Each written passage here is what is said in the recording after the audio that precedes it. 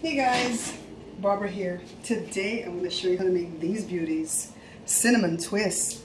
You're watching The Bare Pantry Show. Say hello to my mother. Hi everybody. She's not shy, okay? Joe and I are working hard frying these days. Say hello to my guest, Mario Ramirez from Box 11.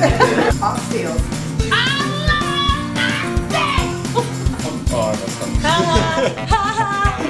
Today I've got Jory because Joe's sick. I don't need it. And, yes, Jory's sick. Best kid. And we're Honorable Mayor Aquilera Attack! Where shall we start? Because it all looks so good. Let's start with this bread. You're watching the Bare Pantry Show with my sister. This is what we're gonna need. One tablespoon or one packet of yeast. I measured for you guys already. It's gonna be four to four and a half cups of flour. It's one of these doughs where we're gonna start with liquid first and add the dry. Quarter cup of sugar, one and a half teaspoons of salt, quarter cup of butter, softened to room temperature, and one egg. And this is a half a cup of milk that I just nuked in the microwave. And this is three quarter cups of water from the faucet and it's warm, okay? I'm gonna use a little bit of the water first to just go ahead and add the yeast and a little bit of the sugar just to activate the yeast, okay?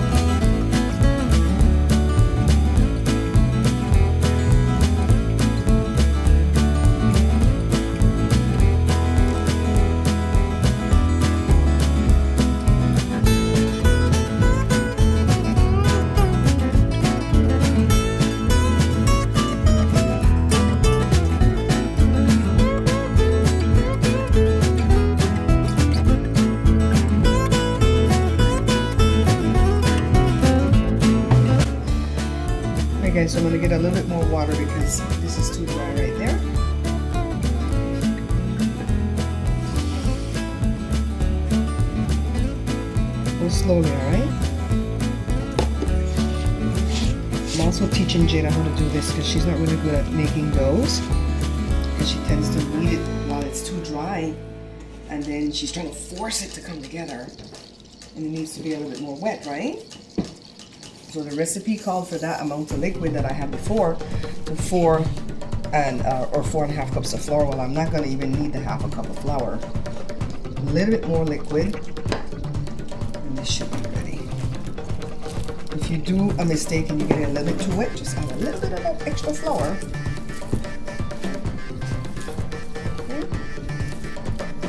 Me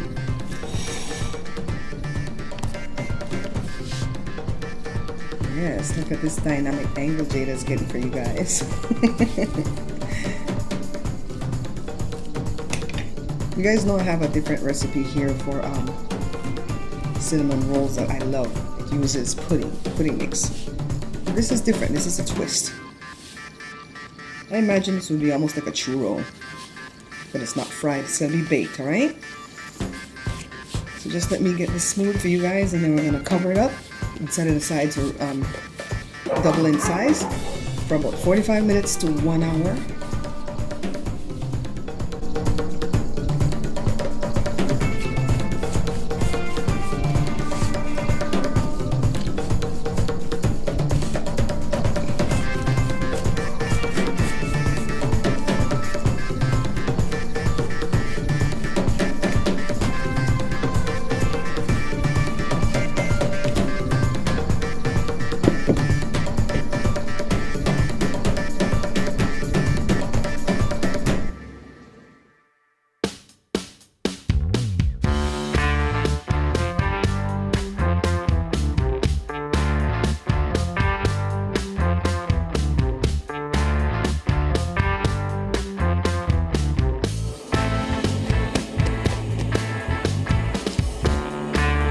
So let's roll this out to 16 by 12.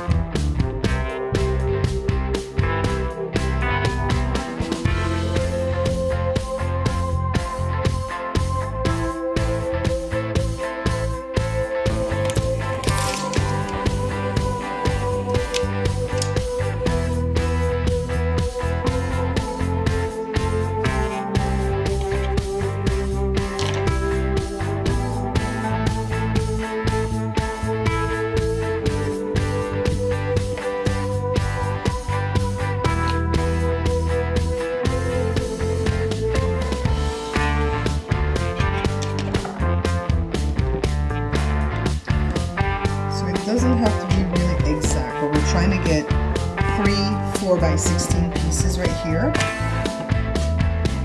Half a cup of brown sugar packed. And four teaspoons of cinnamon.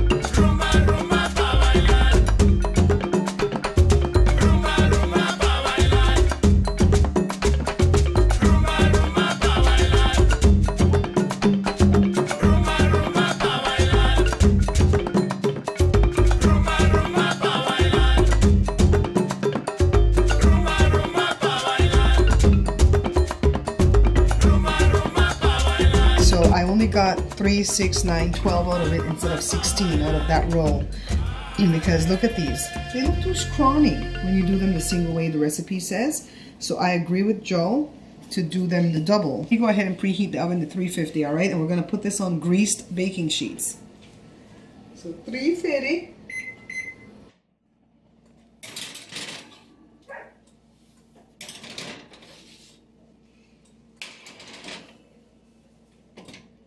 All right, guys, so you know me well enough to know that I would do another one, right? Because I want to see if I can um, do it cleaner. That one was like messy to do. So I did four strips this time. Still the 16 by a little bit bigger than 12 now. No, it's still 12, but I just did three, three, three. Three, three, three, three. So I'm to do this one. I'm just trying different techniques to see what would work, okay? To make it a little bit neater to do.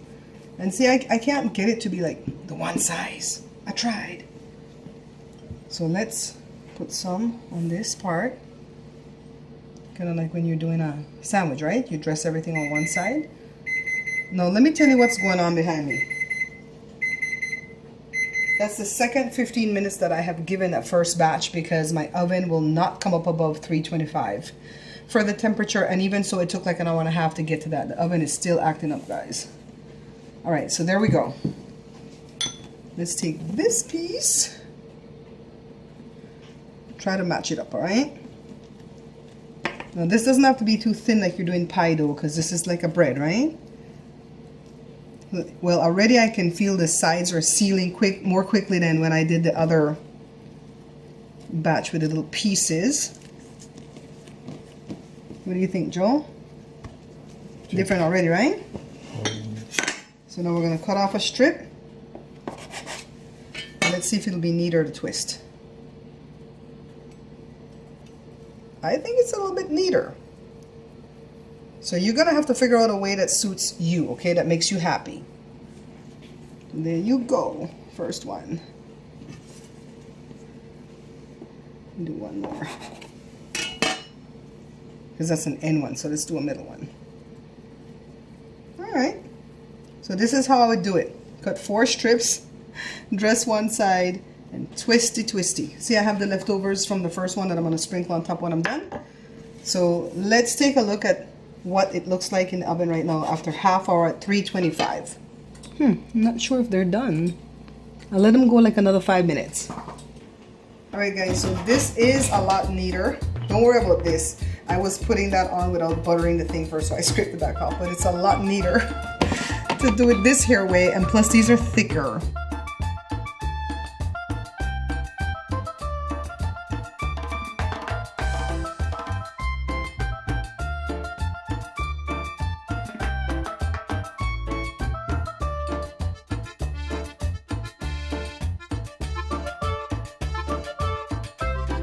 see this fresh batch right here.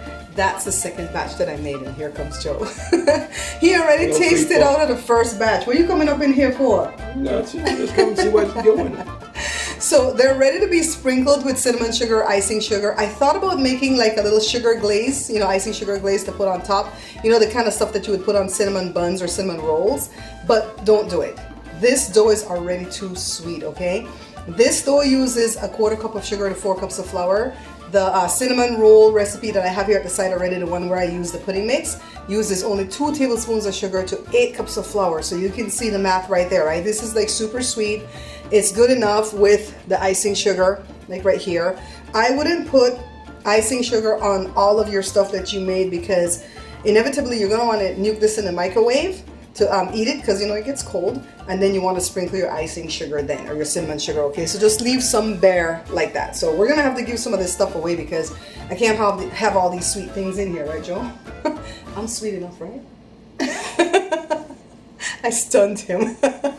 This show is not scripted at all. Tomorrow is what um what do you call the thing Joe it's Halloween but Joe doesn't call it Halloween. What do you call it? Trigger tree. Joe says, when is it going to be trick or treat? When is, that's what he calls it, trick or treat. And I told Joe the holiday is called Halloween. I know. So you guys stay safe tomorrow. And I will go live tomorrow at the channel still. I don't know who else is going to come on because some of you have small kids or grandkids. But I'm going to go live at my regular time between 6.15 and 6.30 Pacific Standard Time. I'm enjoying my Tuesday night live, okay? My Tuesday nights live. Anyways, babe, what's up? You going to taste? Oh, let me taste one without the sugar thing on it. Want a piece? I really taste behind your back. At least they, at least they confess. Mm, mm, mm, mm. The oven finally came up to 350, and it still takes a half hour to bake these. Okay, not 15 minutes like what the recipe says. The ones that were baking at 325 took like 45 minutes. Really pretty good. Not bad. If you're into coffee or tea, you could do that. Yeah. I'm not into none of that. You want your coffee or tea and Let me taste one with the icing sugar.